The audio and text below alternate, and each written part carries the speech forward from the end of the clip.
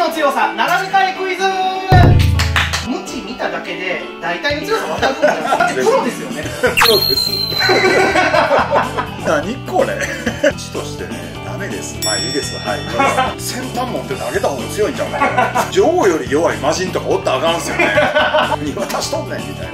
いたみたいな。豆ちゃんみたいな座役みたいな感じ。いいですよ。もうこれでいきましょう。鉄心さんのはい。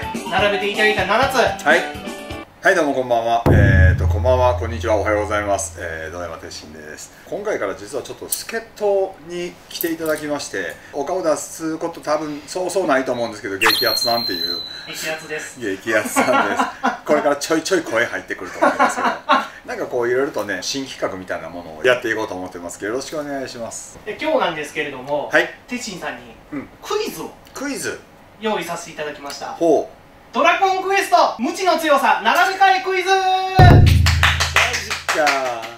マジか。ドラクエか。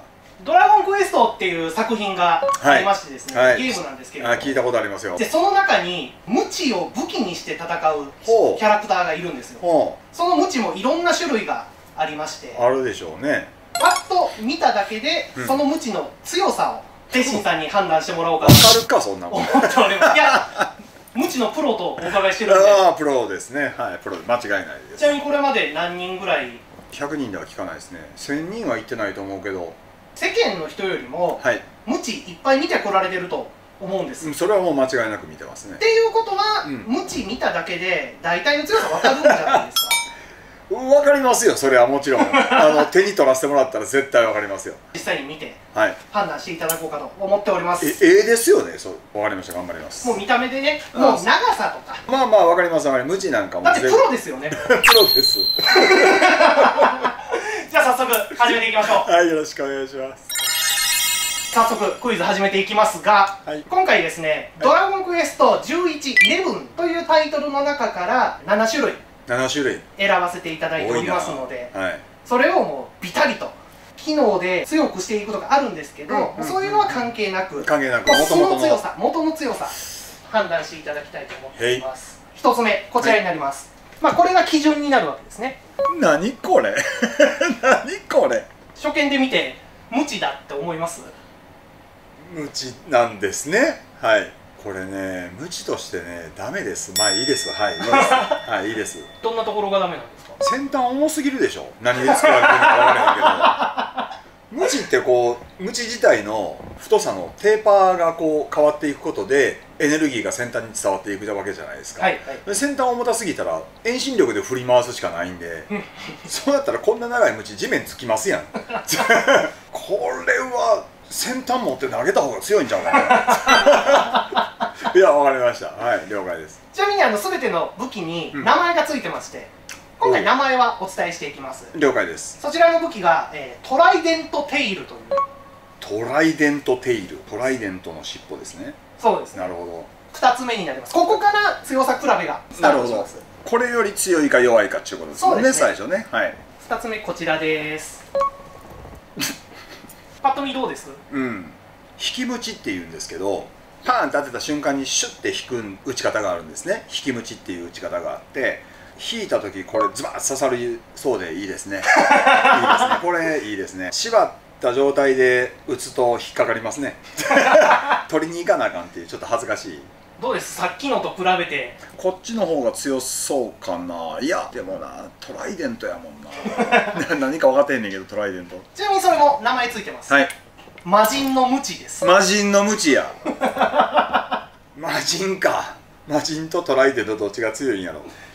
トライデントの方がちょっと強そうやな。は次です、いはい。チェーンや。チェーン船の先端についてるやつやね 何やったら。これ無知としてどうです？痛いわ。触れるかこんなもん。一般の無知の強い弱いってどこで決まるんですか？革の材質やったりとかうんうん。先端の形状やったりとかするんですけどあも先端は大事なんです先端の形状大事ですね。ただこんなエネルギー伝導率ゼロなんで 無理ですよ。触れませんよこれ。無知の打ち方ではできないですね金属の無知ってあるんです金属の無知あります。あるんですけど使ってる人もいますけど実用性はそんなに高くないですね。やっぱり加減して打たなあかんとかなってくるんで。ちなみに名前がボイドアンカー。ボイドアンカーや。どうですか？ここまで3つ見ましたけれども、えー、アンカー激強ですね。アンカー激強ですねね。続いてがこちらになります。おこれは触れそうやなこれいいですね。僕今まで4つの中でどれか1個くれる歌これもらえますね。これいいです。振りやすいですね。長さもええ感じだと思います。グリップの部分ってあるんですけども、はい。はい、グリップの部分の長さがやっぱりちょっと重要になってきますしそこに比べてのこのひょろ部分の長さの割合もまあ悪くないので現実的ではあるかな。この無知の名前。女王の無知です。いらんわほんなトライデントより絶対女王の方が弱い。魔人より弱いよな多分な。女王より弱い魔人とかおったらあかんすよね。女王俺友達いっぱいおるけど魔人一人もおれへんから。で5つ目がこちらになります。はい。おお茨や。はあ。まさに茨の無知です。茨の無知ですか。はあなるほどなるほど。っていうか植物やこれどうです？使いやすいですか？使いづらいです。いや結構よく見る形状じゃないですかこういうムチって漫画とかアニメとかで。うん。一本ムチって、まあ、振り方が悪いからなんですけどしょっちゅう自分の足とかに当たるんですよ。切れますよねこんなん。何渡しとんねんみたいな「いた?」みたいな。太さがね根元から先端まで一定の太さってムチとして機能しないのであと最初はめっちゃ痛いと思うんですけど植物なんで絶対日々劣化していきますよね。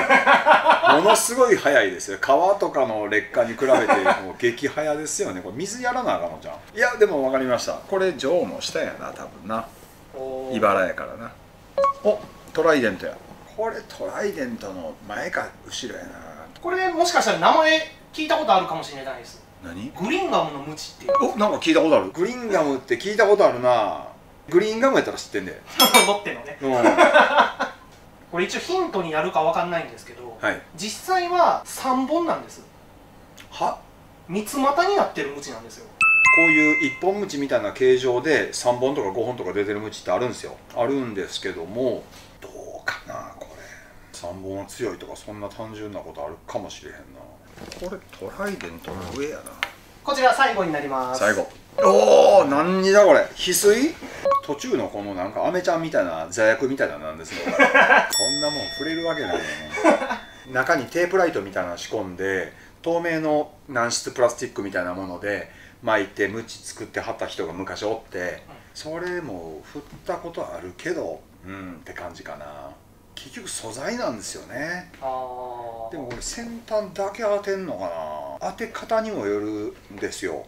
ドラゴンクエストの無知の特徴として、うん、複数体の敵に同時に攻撃できるっていうのが無知の強みなんですよ。できるか。1人目2人目な。いけないことはないけど2人目とかいたないやろなもうすでに。確かにだんだんあのダメージは弱くなっていくなるほど なるほど。でもそしたら巻きムチとかできへんねんな。なでなあかんですね。巻きムチっていうのは何ですか？パチンって巻くとここで当たったところで加速がついて先端にスピードがついてパチンってここの辺に当たるんですよ。巻きムチっていうんですけど。負けないとなると普通に叩くんか、うん、グレープにいるのムチともう一度もう一度。グレープにいるのムチとグレープにいる。グリンガムとグレープにいるとどっちが強いかって話だな。えトライデントもいてるもんな。この7つになりますんで。7つか。どうしようかな。決まりました。弱い方から茨のムチ女王のムチ魔人のムチトライデントテイルグレープニルグリンガムボイドアンカーボイドアンカー絶対強いってこんなん船止めれるぐらいやもん。もう絶対合ってます？もうもう間違いないです。これダメだったらもう修行になりますけどこれ。修行？とかかあんの？言ってなかったですけど。マジか。これもし外れてたらアニメの無知を見てしっかり形状を勉強していたなるほど。いやでもそれはやっぱりねあのプロとしてやっぱり勉強せなあかんところは勉強せなあきませんわねいいですよ。もうこれでいきましょう。もう変わりません。大丈夫ですね。大丈夫です。結果発表します。自信あります。はいお願いします。鉄心さんのはい。並べていただいた7つ。はい。不正解です。なんでやねん。いやいやまあそれはこう7つ全部当たれへんわいやでもいいいい線いってるんですよ。惜しい惜しいマジですか？弱い方から言ってきますね、はい、はい。茨のムチはい。女王のムチお来た。魔人のムチ来てるやん。トライデントテイル。おおグリンガムのムチマジか。ボイドアンカうおー。グレイプニルグレイプニル強すぎるわほんま。なんか特別な色してるもんな。当たってる。絶対ボイドアンカーの方が強いって これチェーンに見えて実はなんかホームセンターのプラスチックじゃんこれ。ーちなみに鉄心さんが実際使うとして一番強く使えそうというか。使いません。もうせいぜい言うて女王のムチぐらいしか使えませんこん使い道ないです。強そうとおっしゃってたグリンガムのムチなんですけれども、はい。実ははい。超グリンガムのムチグリーンガムを超えるんやな。そうです。うん。それが最強の武器なんですよね。へえなんで今回ちょっとグリーンガムのムチなので、うん。一応超グリーンガムのムチお見せしますね。名前が安いわ。こちらが超グリーンガム こんなんおおったって同じとこに置かれてるわ。何がち色しか違わへん。そうです。色が違います。えー、意味分かれへん。